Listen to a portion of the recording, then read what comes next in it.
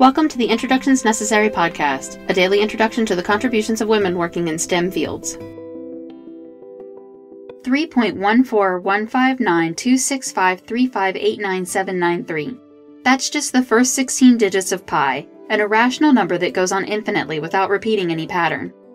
The ratio of the circumference of a circle to its diameter continues to capture the imagination of both mathematicians and the general public.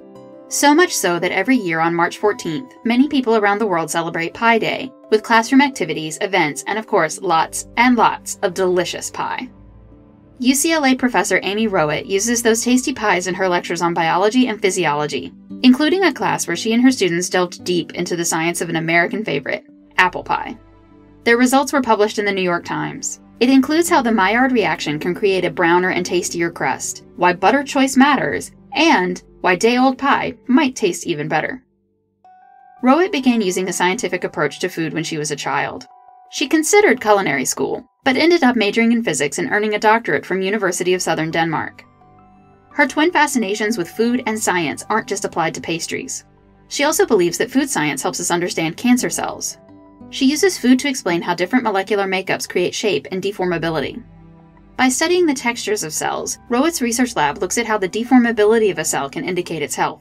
They have found evidence that invasive cancer cells are more deformable or softer than normal cells.